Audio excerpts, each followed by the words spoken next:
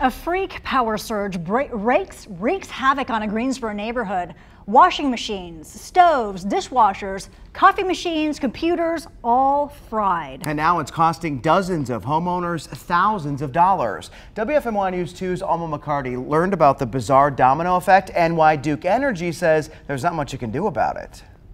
A calm, quiet morning, rattled by a sudden sound that shook the Lindley Park neighborhood. I knew that was a tree, and then I just heard this explosion. In my house, I heard two pops. And there was a, a spark that came out of an outlet, and it, it felt like to me like a boom. I wanted to run out and scream and say, Did it happen to you? This tree on Masonic Drive snapped. Duke Energy said it landed on an electrical circuit, burned down a line, hit another circuit, then sent a high voltage shock to hundreds of homes. All of Lindley Park was out of power. About 350 some odd people. But this wasn't a typical outage.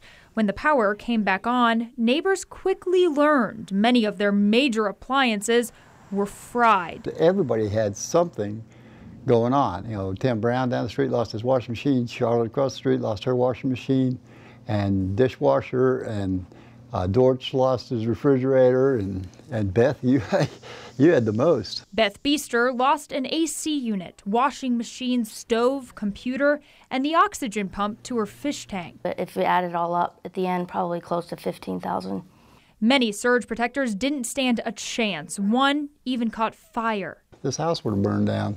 No doubt about it. Street after street, we met people feeling the sting of thousands of dollars in damages. Now they're looking for answers. Duke Energy reps say they're not at fault and denied the claims filed by homeowners. If their equipment was damaged and it damaged our equipment, why would they not be responsible for it? Duke says the tree that fell wasn't its responsibility and the surge wasn't from company negligence.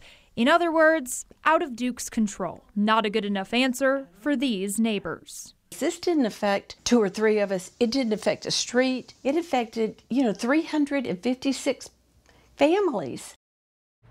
The tree that fell was at the Lindley Community Recreation Center. The city owns the center. I've been trying to figure out whether the city could somehow be responsible for damages. I'll let you know when I find out.